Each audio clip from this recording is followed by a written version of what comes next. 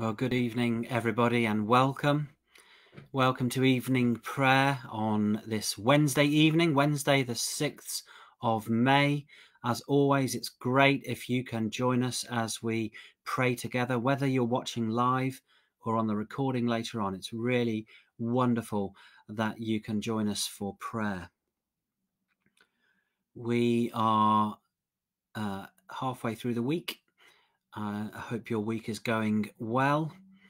And uh, as always, we come together to pray, to hear God's word, to pray for people and situations that are on our heart, and to join with one another in the power of the Holy Spirit to receive from God what He wants to give us uh, His strength, His direction, His peace. Let's take a moment to pray at the beginning of our prayers uh, to still our hearts, to be quiet, and then we'll begin.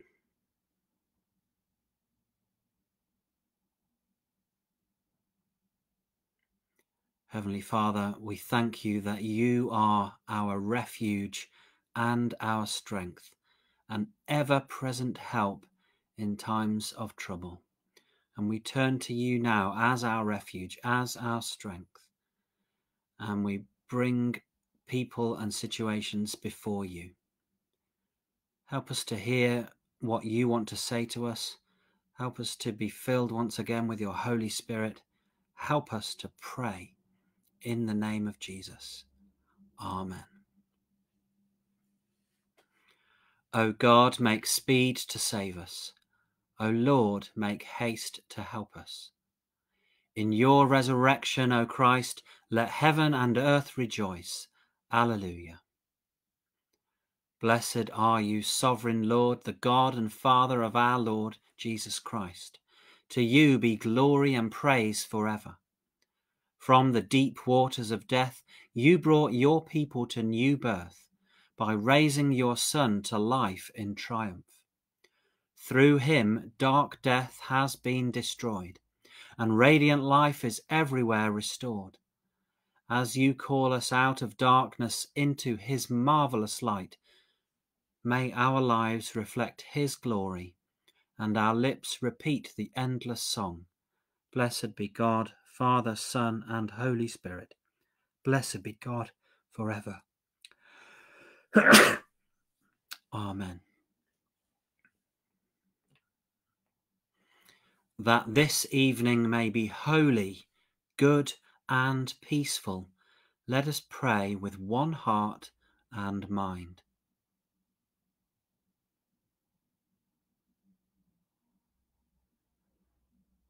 As our evening prayer rises before you, O God, so may your mercy come down upon us to cleanse our hearts and set us free to sing your praise now and forever. Amen two Psalms this evening Psalm number 47 and 48. So, Psalm 47. Clap your hands, all you nations. Shout to God with cries of joy. For the Lord Most High is awesome, the great King over all the earth. He subdued nations under us, peoples under our feet. He chose our inheritance for us, the pride of Jacob, whom he loved. God has ascended amid shouts of joy. The Lord amid the sounding of trumpets. Sing praises to God, sing praises. Sing praises to our King, sing praises. For God is the King of all the earth sing to him a psalm of praise. God reigns over the nations. God is seated on his holy throne. The nobles of the nations assemble as the people of the God of Abraham, for the kings of the earth belong to God. He is greatly exalted. And Psalm 48. Psalm 48. Great is the Lord and most worthy of praise. In the city of our God, his holy mountain. Beautiful in its loftiness, the joy of the whole earth. Like the heights of Zaphon is Mount Zion, the city of the great king. God is in her citadels. He has shown himself to be her fortress. When the kings joined forces, when they advanced together, they saw her and were astounded. They fled in terror. Trembling seized them there, pain like that of a woman in labour. You destroyed them like ships of Tarshish shattered by an east wind. As we have heard, so we have seen. In the city of the Lord Almighty, in the city of our God, God makes her secure forever. Within your temple, O God, we meditate on your unfailing love. Like your name, O God, your praise reaches to the ends of the earth. Your right hand is filled with righteousness. Mount Zion rejoices. The villages of Judah are glad because of your judgments. Walk about Zion, go round her, count her towers, consider well her ramparts, view her citadels, that you may tell of them to the next generation. For this God is our God forever and ever. He will be our guide even to the end.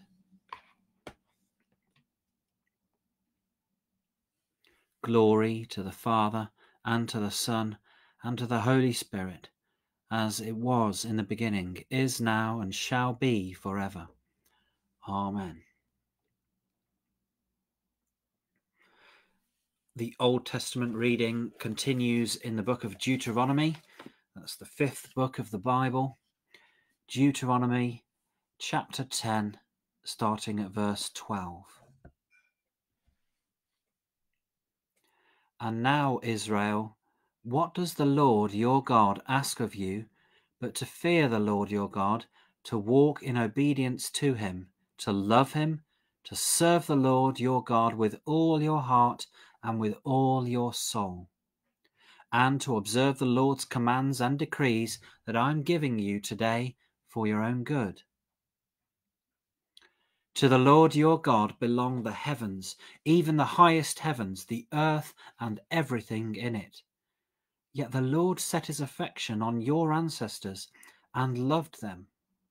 And he chose you, their descendants, above all the nations, as it is today.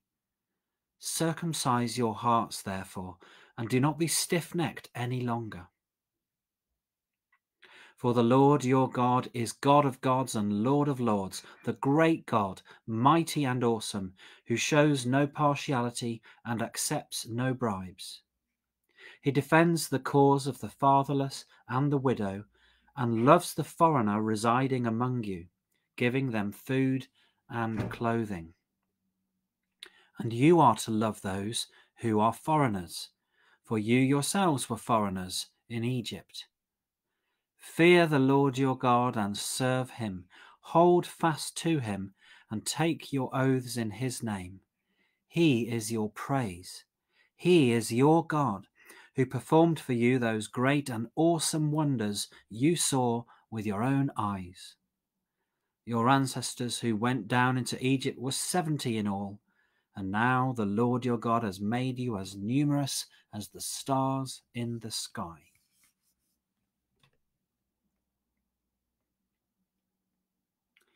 The New Testament reading continues in Paul's letter to the Ephesians, Ephesians chapter 5, verses 1 to 14. Ephesians 5, 1 to 14. Follow God's example, therefore, as dearly loved children, and live a life of love just as Christ loved us and gave himself up for us as a fragrant offering and sacrifice to God. But among you, there must not even be a hint of sexual immorality, or of any kind of impurity, or of greed, because these are improper for God's holy people. Nor should there be obscenity, foolish talk, or coarse joking which are out of place, but rather thanksgiving. For of this you can be sure no immoral, impure, or greedy person, such a person is an idolater, has any inheritance in the kingdom of Christ and of God. Let no one deceive you with empty words, for because of such things God's wrath comes on those who are disobedient. Therefore, do not be partners with them. For you were once darkness, but now you are light in the Lord. Live as children of light, for the fruit of the light consists in all goodness, righteousness, and truth, and find out what pleases the Lord. Have nothing to do with the fruitless deeds of darkness, but rather expose them. It is shameful even to mention what the disobedient do in secret, but everything exposed by the light becomes visible, and everything that is illuminated becomes a light. This is why it is said, Wake up, sleeper, rise from the dead, and Christ will shine on you.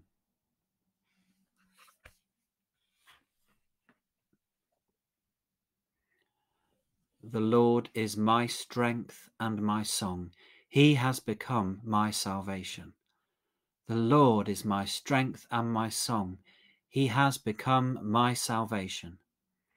I shall not die, but live, and declare the works of the Lord.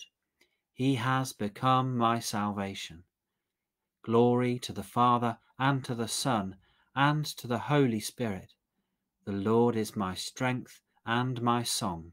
He has become my salvation. The Song of Mary, sometimes called the Magnificat. The stone which the builders rejected has become the chief cornerstone. Alleluia. My soul proclaims the greatness of the Lord. My spirit rejoices in God my Saviour. He has looked with favour on his lowly servant. From this day all generations will call me blessed. The Almighty has done great things for me, and holy is his name.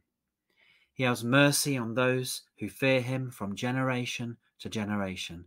He has shown strength with his arm. He has scattered the proud in their conceit, casting down the mighty from their thrones and lifting up the lowly.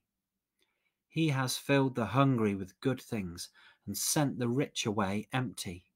He has come to the aid of his servant Israel to remember his promise of mercy, the promise made to our ancestors and to Abraham and his children forever. Glory to the Father and to the Son and to the Holy Spirit, as it was in the beginning, is now, and shall be forever. Amen. The stone which the builders rejected has become the chief cornerstone. Hallelujah. So we come to our prayers of intercession. Continue to pray for Kevin's dad in hospital. And we thank you that he is responding to medication. Be with him and all the family, Lord, in Jesus' name. Lord, in your mercy, hear our prayer. Father, today I want to pray for all funeral directors and particularly those in this area. Uh, they are in many ways on the front line of this crisis, and it's been a stressful uh, and challenging time for them. We thank you that the uh, curve seems to have turned, that we seem to have entered a, a, a new phase with uh, COVID patients in hospital going down and the death rate going down. But we do continue to pray for, pray for all of our funeral directors. We pray for those who work at Henry Ison's on Binley Road. Pray for those who work for the co-op in Ansty Road. Pray for uh, those who work at Hackett's and at Grimmett and Tims and at Pargeters all the funeral directors in our city. Be with them, give them your strength. And as they do their work, may they do it in your name and uh, with a sense of you being with them. Lord, in your mercy, hear our prayer. Loving God, we continue to pray for all of our local care homes, for the residents, and for the staff. We especially pray for any residents who are poorly, and we pray for those who are acutely feeling isolated um, because they can't see their families. Lord, bring your comfort as only you can. Lord, in your mercy, hear our prayer. Father, we continue to pray for all those who are sick, particularly those affected by this virus. We ask for your healing and your strength for those known to us, friends and neighbours, family members, for those on our sick list at St. Bartholomew's, for those on the email prayer list that we've been praying for, for uh, relatives of church members, for anyone else we know. And in a moment of quiet, maybe lift up to God anyone else who's on your heart.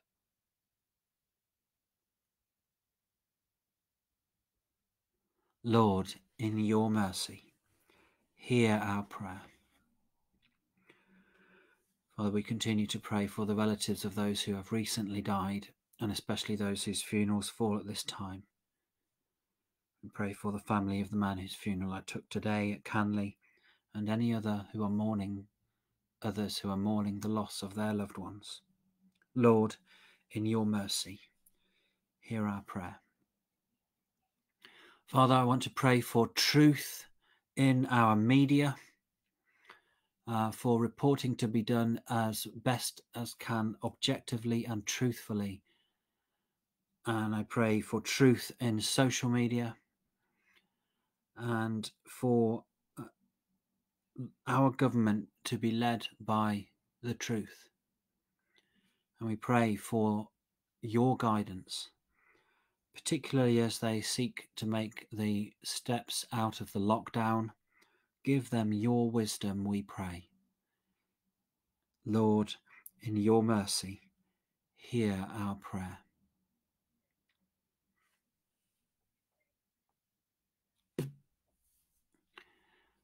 the collect, the special prayer for today.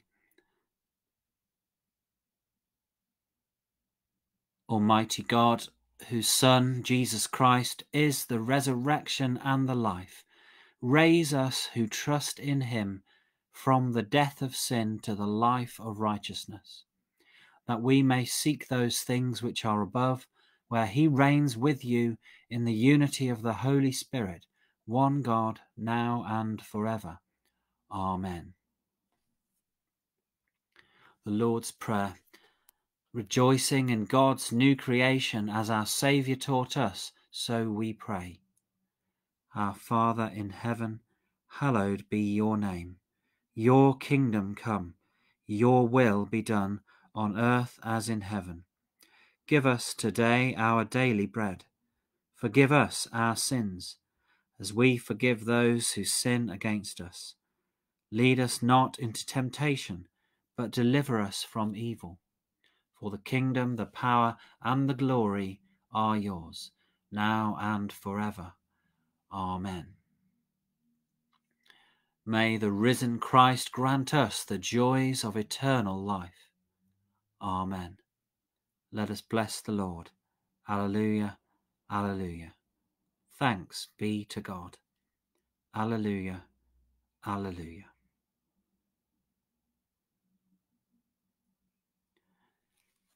Well, thank you everybody for joining with us in prayer.